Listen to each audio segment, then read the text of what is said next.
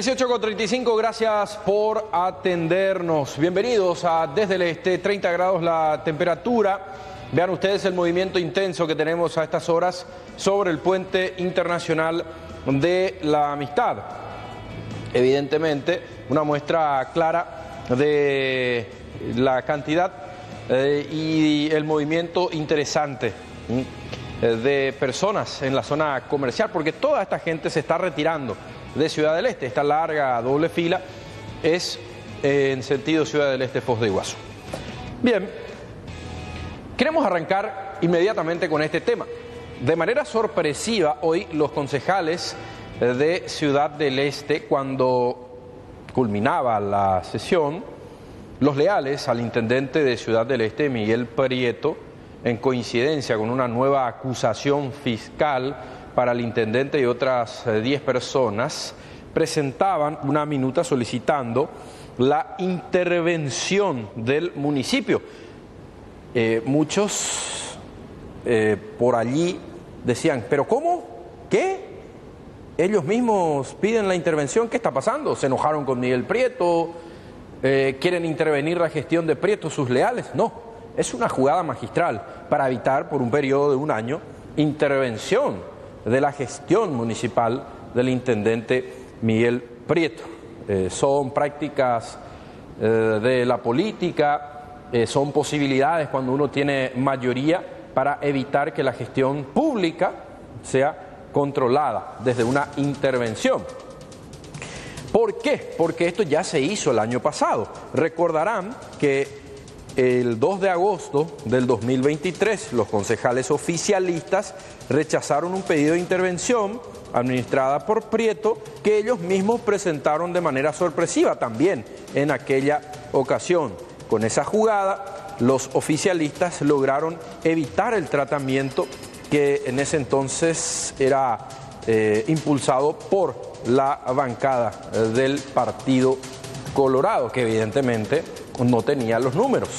Es por eso que se adelantaron. Y hoy nuevamente la jugada para evitar que en este año de gestión, 12 meses, se pueda eh, siquiera, siquiera mencionar la palabra intervención. Y en coincidencia con una acusación fiscal, es la segunda acusación, acusación digo bien, fiscal de Prieto con pedido de juicio oral y público.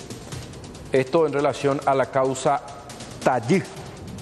Terminaba la sesión, se retiraron cuando se dieron cuenta los de la bancada del Partido Colorado, pero ya fue tarde, tenían el quórum legal y procedieron a la votación. Los concejales leales aprieto, incluso algunos de ellos, modo burla, se reían a carcajadas en plena votación para evitar la intervención.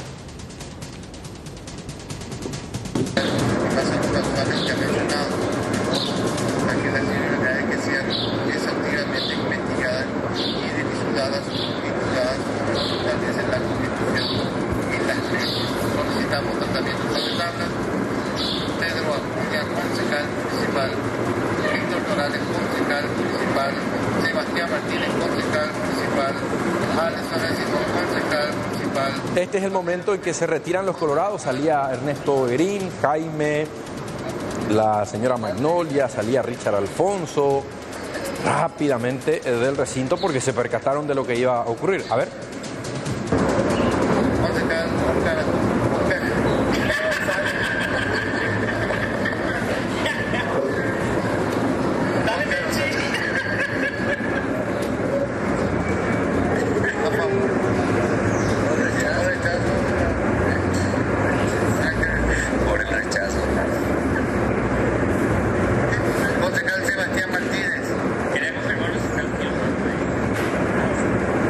rechazo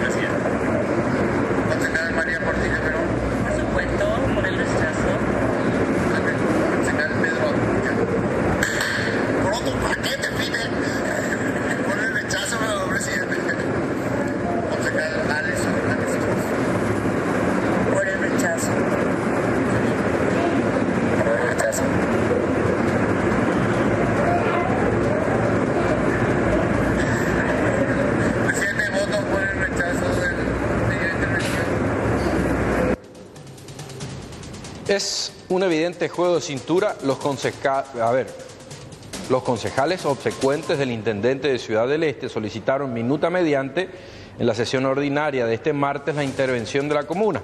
La llamativa petición de los ediles pertistas coincide con la acusación hecha por el fiscal anticorrupción Silvio Corbeta, con lo que probablemente buscan distraer la atención. Este amague que hacen los concejales no es más que un juego de cintura, ya que los mismos quienes piden la intervención serán los mismos que nieguen en mayoría a conceder el pedido. De hecho, ya lo hicieron, concejal Ernesto, recién veíamos, ya lo hicieron.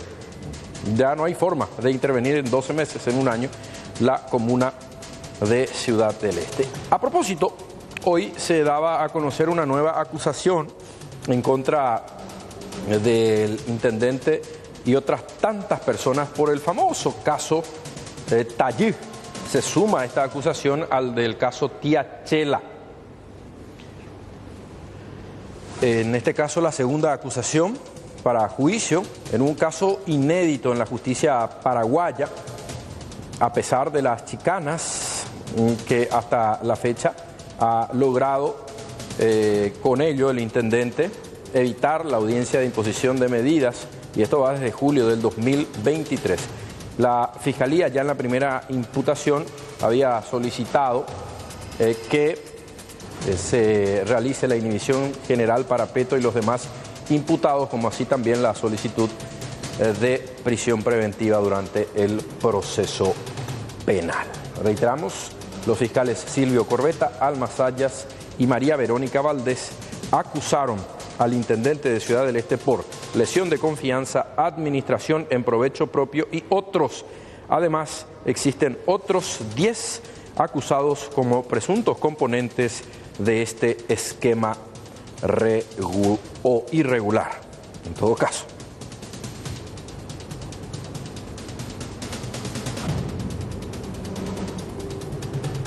...1842... Desesperación en el seno de una familia. Se denunció la desaparición de una joven y empezaron a trabajar los especialistas, búsqueda y localización de la Policía Nacional junto a el fiscal designado.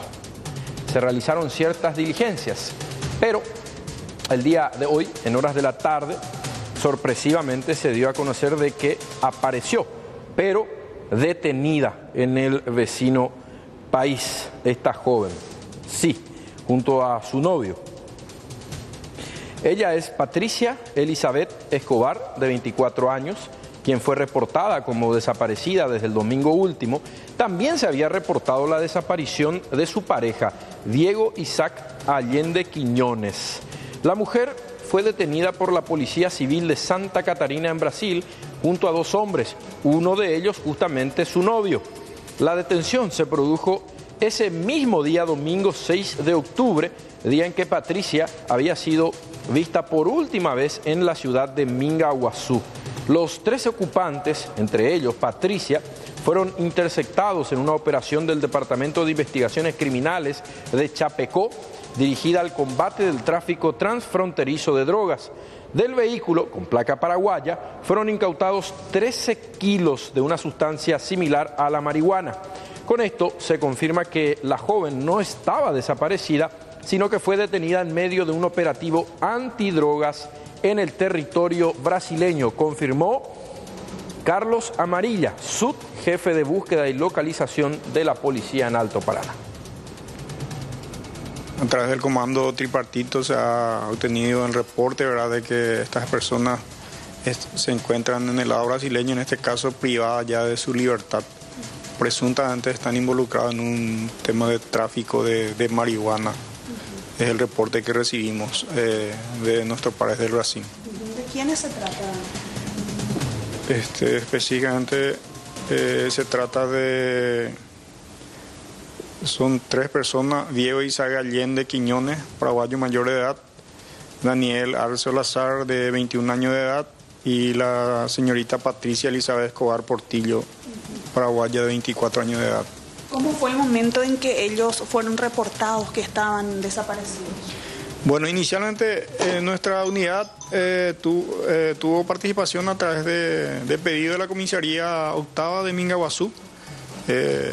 Acudieron ahí personal para procesar los datos pertinentes y seguir el protocolo conforme a, lo que es desaparición de personas, ¿verdad?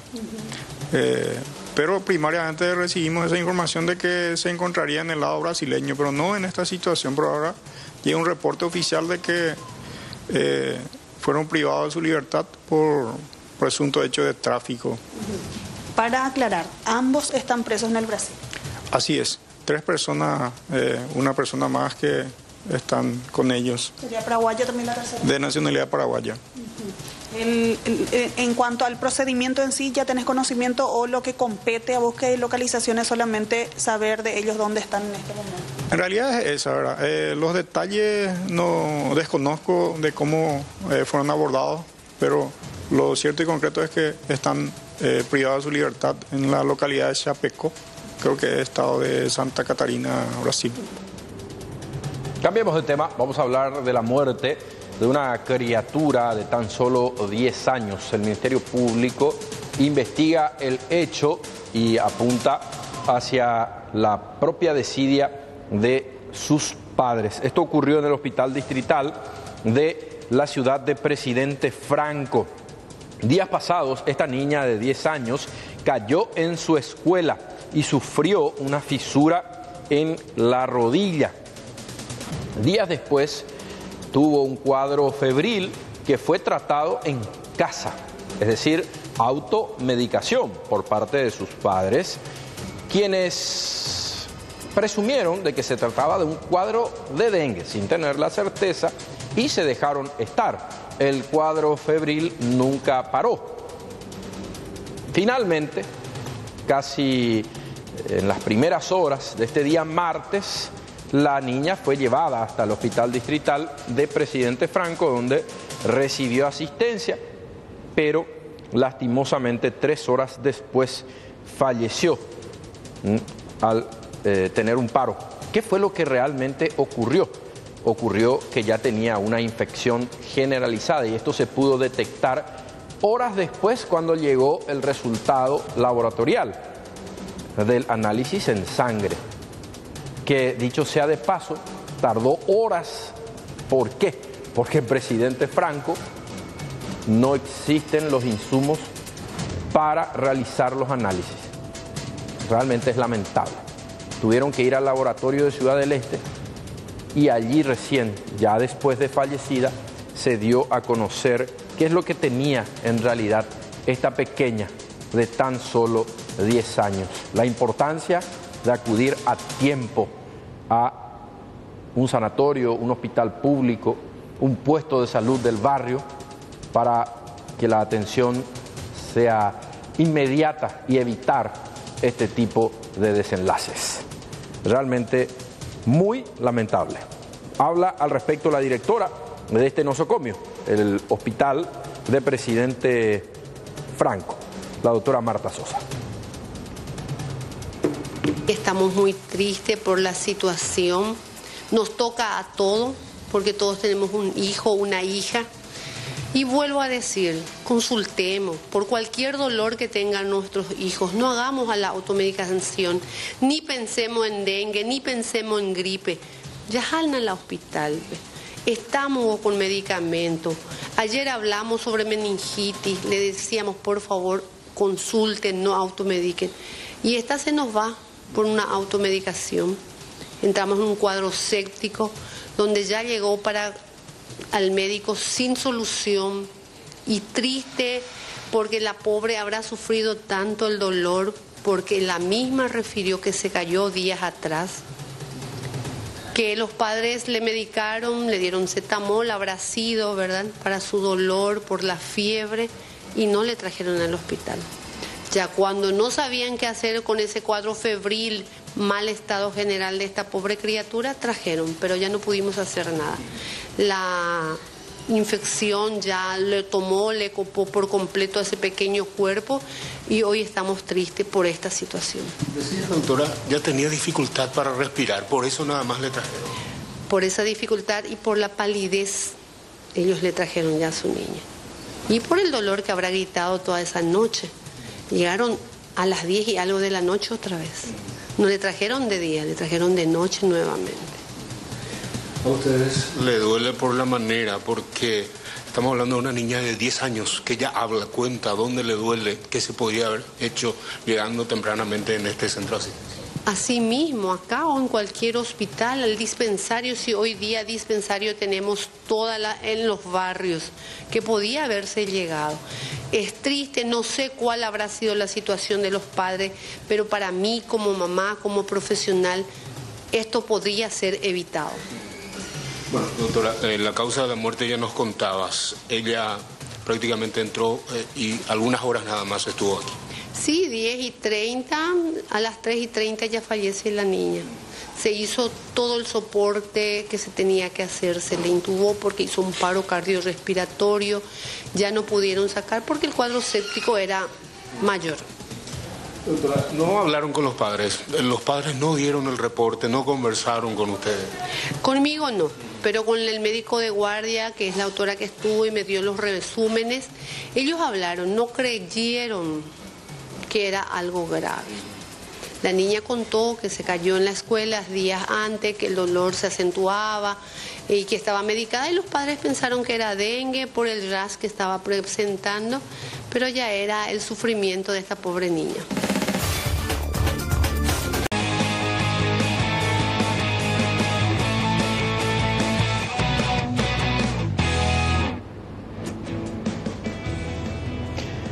Seguimos informando, 18.55, temperatura de 29 grados, mucho calor en este día martes 8 de octubre. Mingaguazú, agentes del Departamento Antinarcóticos de la Policía Nacional llevaron adelante un allanamiento que terminó con la incautación de más de 17 kilos de cocaína de alta pureza y arrojó además la detención del presunto encargado de la logística. Se trata de Celso Darío Eladio Maldonado, de 42 años con antecedentes por incumplimiento del deber legal alimentario. La comitiva, con una orden de la juez penal de garantías, Alba Mesa, realizó este allanamiento en la vivienda tras recibir la información de que en el lugar se estaría almacenando cocaína para su probable envío al vecino país, Brasil.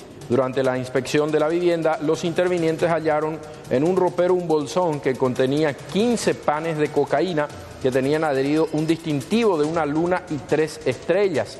Los agentes antidrogas realizaron un análisis de campo de la sustancia que dio positivo para cocaína de alta pureza. Estamos hablando de la incautación de la droga, como así también de una camioneta Hyundai modelo Tucson y un aparato celular que deberá ser peritado en la capital del país. Se hizo un trabajo en conjunto con varias regionales, varios personales estuvieron involucrados en este operativo que es de gran envergadura. Recibimos el apoyo del señor jefe de departamento, los señores directores. Este procedimiento se hizo ayer a las 21.30 horas aproximadamente en el kilómetro 16, la Bacaraí, la ciudad de Mingaguazú, departamento de Alto Paraná. Tuvimos una persona detenida que se trata del señor Celso Darío Eladio Maldonado Florentín, paraguayo soltero de 42 años de edad que tiene también antecedentes penales, pero por incumplimiento del deber alimentario. Logramos incautar 15 pacotes de supuesta cocaína de alta pureza, que un peso total daba de 17 kilos y medio. Eh, ¿Qué destino tendría esta carga? ¿Estaba eh, totalmente preparada ya para la disposición final, se puede notar? Como entendimos y tras las averiguaciones, Luis, esta persona era el, la, el recepcionista de las mercaderías, embalaba, preparaba para luego enviar a su destino final, que es el viejo continente o el país vecino Brasil. Generalmente son las personas que preparan toda la logística para su envío y tienen diversas formas de, traslado. Utilizan vehículos con doble fondos, preparan mulas. En estos últimos días cayeron varios en FOS en el aeropuerto, incluso su comisario podría formar parte de esta estructura. Así mismo, Luis, así mismo. Esta persona es la, encargada y dedicada a enviar de, distintas formas Y un motociclista falleció trágicamente. Van a ver ustedes las imágenes del circuito cerrado. Impactante. Esto ocurría en la ciudad de Hernandarias. Vean ustedes el momento del impacto. El motociclista falleció tras este choque. Se trata de Marcos Junior Fener, de 25 años, quien circulaba sobre una motocicleta GTR 150 de color negro el mismo chocó de frente contra otra motocicleta TL guiada por Cayetana Gómez Duarte, de 37 años, quien estaba acompañada de su hija de 11 años, quien llevaba a esta niña a la escuela. La mujer venía de contramano, ya que la avenida se usa generalmente de contramano porque la otra vía no tiene el empedrado terminado. Esto según los vecinos, quienes también mencionaron que no hay lomadas el empedrado no termina, se usa la avenida de contramano y las personas no utilizan cascos, no hay control alguno. La madre e hija siguen internadas en grave estado. Lamentable, sucedió en Hernandarias.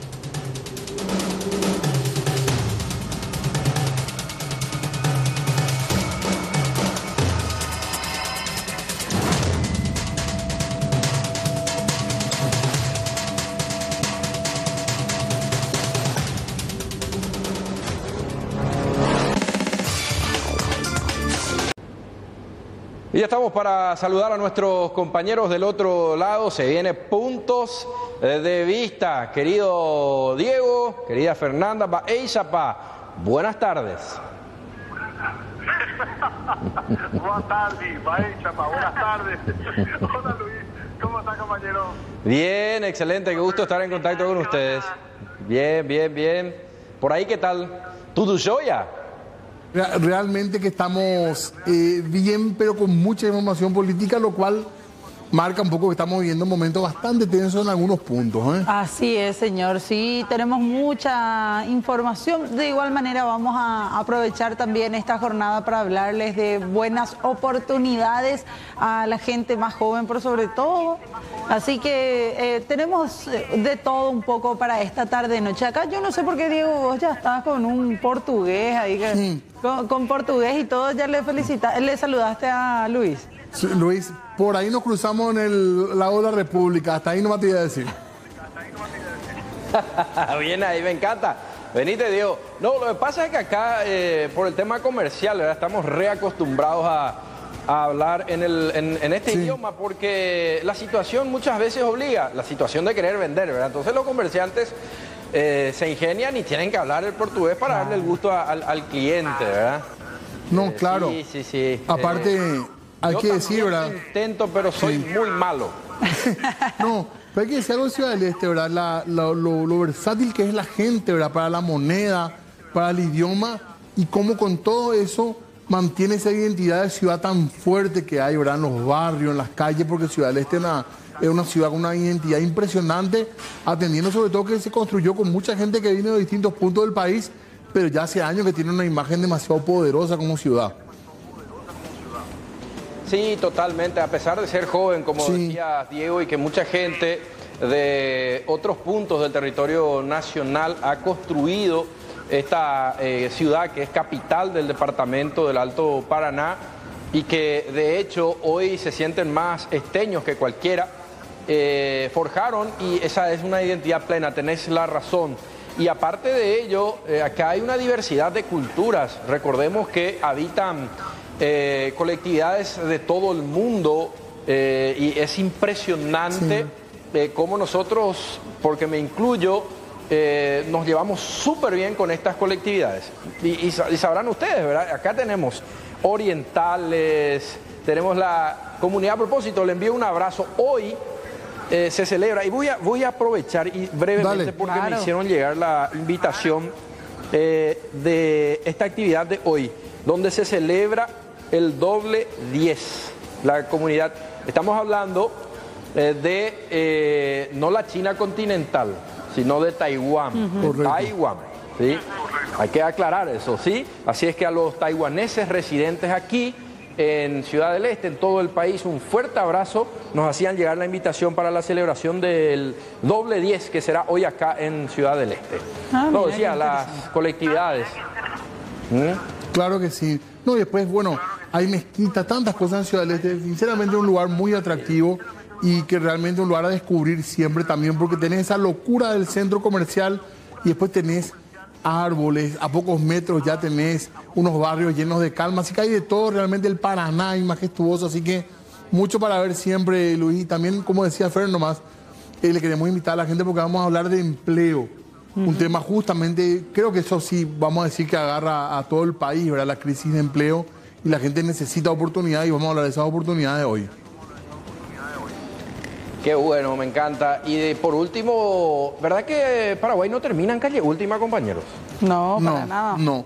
Y vos sabés que el asunceño, los asunceños somos muy tendientes a eso y tenemos muchos prejuicios con algunas ciudades del interior, como por ejemplo pensar que Ciudad del Este es una ciudad brasileña, entre comillas, cuando nada que ver realmente Ciudad del Este con eso. Sí, totalmente. Y yo eh, preguntaba esto por los dichos desafortunados desde todo punto de vista del consejero de IPS de Los Ríos. Qué que vergüenza, decía ¿verdad? y se filtró esta, este video donde él decía de que no vale la pena invertir en el interior en salud. Eh, realmente eh, penoso, vergonzoso de todo punto de vista y que toda la plata se tiene que gastar en Asunción y área central nomás.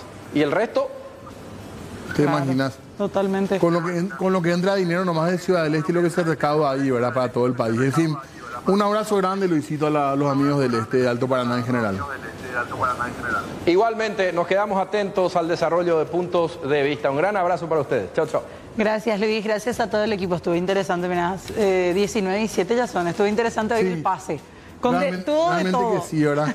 Y qué pena lo de IPS, en serio. Sí. Qué ofensivo puede ser de repente lo que uno escucha. Y mientras tanto, pese a toda la recaudación que tienen, no son capaces ni siquiera de poner a punto la atención que brindan en el IPS central. Ni qué Así decir las periferias, ni qué decir otros centros a lo largo y ancho del país. 19 con 7 minutos, ya damos paso a puntos de vista.